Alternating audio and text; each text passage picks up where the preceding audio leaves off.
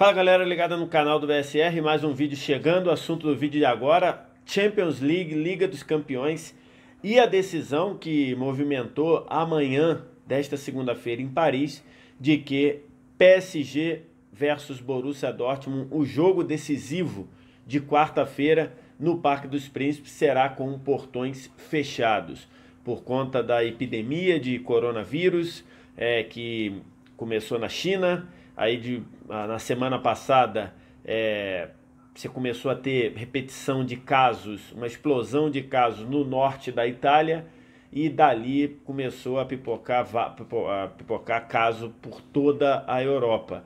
E, e também na França começando a, a ter vários casos, e aí por conta disso a decisão da prefeitura de Paris e já comunicada é, publicamente, o PSG já se manifestou hoje é, e na nota oficial do PSG ele acata totalmente a decisão da Prefeitura de Paris, sem nenhuma objeção na nota. Eu li a nota em inglês, não tem nenhum senão ali.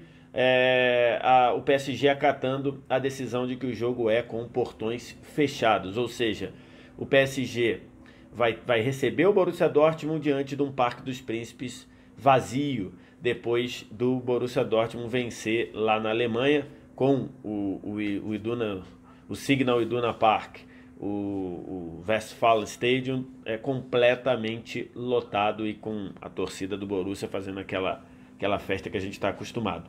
É, a questão é importante é a seguinte: o PSG sai prejudicado sim, na minha visão. Por quê? Por dois motivos, tá? É, logicamente é um caso de saúde pública, logicamente é uma decisão muito difícil de se tomar. Muita gente me respondeu no Twitter, se você não me segue no Twitter, vai lá, arroba Vitor Sérgio, ou no Instagram, arroba Vitor Sérgio VSR.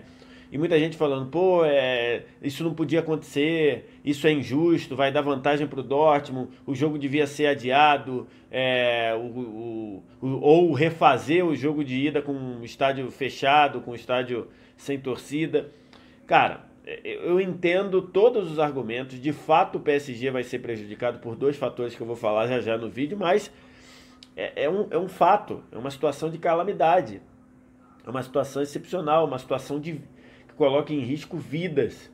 É, muita gente tem morrido, é, ou nós temos aí um número é, é, crescente de mortes, pelo menos na Europa. Se o número de mortes, pelo que a gente sabe na China, a, a, a aceleração do número de mortes já diminuiu dentro do que a gente tem de informação, né? A gente sabe que é, é, na China a questão da informação é, é, algo bem complicado, inclusive, mas isso é tema para uma outra, para um outro assunto que eu não vou me meter. Mas é, na Europa, então, o número de mortes está crescendo. Então, você tem essa questão. Mas claro que esportivamente é prejudicial para o PSG. Essas soluções não dão para ser feitas, porque pelo simples fato de que não há data. A, a, a, o calendário da Champions League ele é muito ajustado. Não, não tem muita data para fazer. Não tem muita situação. Você tem muitos compromissos ali. Depois vem, vem data FIFA. Né? Na, depois que passar as oitavas, vem data FIFA. Vem eliminatória, é, repescagem eliminatória da UEFA. Então, é toda uma questão ali que você não tem como mexer. É, sob risco da competição não terminar. É, não, é, não é assim, ah, não, não é, corre risco da competição não terminar. Não é legal, é ruim. O PSG vai se prejudicar por dois motivos. O primeiro, todo mundo que joga em estádio é, é, sem torcida diz que isso influencia no jogo. Né? Você tá, tem a questão do costume, tem a questão é, da, da, frieza, né? da, da do, do, do, do, clima frio do, do estádio é, para um time que vai precisar é, fazer uma partida muito justa, muito correta, que é esse time do PSG, para se classificar. 1 a 0 serve, é verdade, mas time do Borussia Dortmund é difícil ficar sem fazer gol. Então você tem todo esse componente. E o outro é o apoio do torcedor.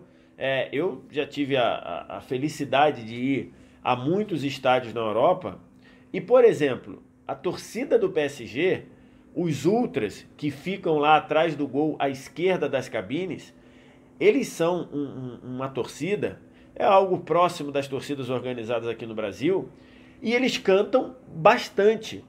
Eles cantam muito. o jogo praticamente inteiro. Eles incentivam mesmo, com bandeira, para padrões, para, padrões europeus, é, eles incentivam demais. Muito mais, por exemplo, muito, mas nem se compara com o que eles incentivam com a, torcida do Real, com a torcida do Barcelona. Eu tive em Enfield agora, eu tive em Enfield recentemente. A, a, a torcida do PSG apoia, canta mais do que, pelo menos no jogo que eu vi, no jogo contra o Napoli, a torcida do PSG, esses ultras que ficam lá atrás do gol, cantam mais do que a torcida do Liverpool. Ou nesse jogo cantaram mais do que a torcida do Liverpool. Né, eu tô pegando o jogo que eu fui, né? Não tô, não tô querendo dizer, não tenho histórico de ir a todo dia, muito pelo contrário. Mas no jogo que eu fui, eu não vi a torcida do Liverpool, por exemplo, cantar durante o jogo como cantou a torcida do PSG. Então é uma ausência sim, isso influencia no jogo e é mais um problema para o PSG na minha visão, né? É, o PSG tem uma série de problemas na Champions, é, tem a questão da pressão, tem a questão do, do, do, pouco histórico relevante na competição, uma semifinal lá em 95, você tem uma série de situações, é, você tem um time que precisa subir o nível de atuação no mata-mata da Champions e é, geralmente não consegue. Enfim, você tem toda essa questão e o jogo sem torcida é mais um. Inclusive, um, um presidente dessa torcida aí dos Ultras, ele disse hoje a, ao canal Europe, Europe One, é, ele deu uma declaração dizendo que é um absurdo, que é catastrófico o que fizeram com o PSG e dizendo, inclusive, que está convocando a torcida do PSG para ir para fora do estádio para ficar cantando fora do estádio e que isso pode gerar um problema, né? Um problema de segurança porque tem uma determinação do governo francês que você não pode ter aglomeração de mais de mil pessoas em situação nenhuma. Então é uma situação que ainda pode gerar um problema, porque se vão mesmo é, os torcedores para fora do Parque dos Príncipes para ficar cantando lá de fora, isso pode gerar um, um, problema. É uma situação complicadíssima, uma situação que envolve vida, que envolve saúde. Então você não tem muito o que fazer, mas de fato é mais um componente, é mais um obstáculo para o PSG. PSG que deve ter todo mundo à disposição. O Neymar lá no jogo contra o Lyon é, pela, Copa, pela Copa da França, pela semifinal da Copa da França. O Neymar saiu do primeiro tempo mancando ali, puxando a perna esquerda, mas depois jogou o segundo tempo todo, jogou bem.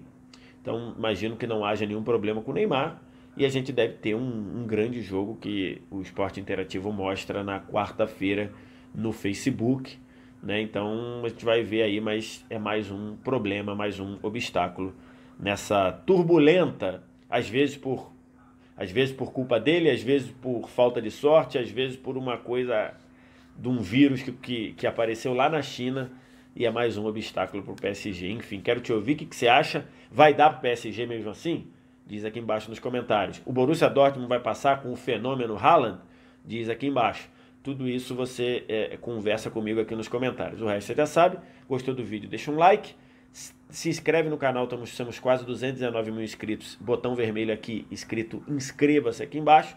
Aqui em cima tem o sininho da notificação para você ser avisado quando tivermos outros vídeos. Eu sempre deixo dois vídeos na tela para você assistir mais um.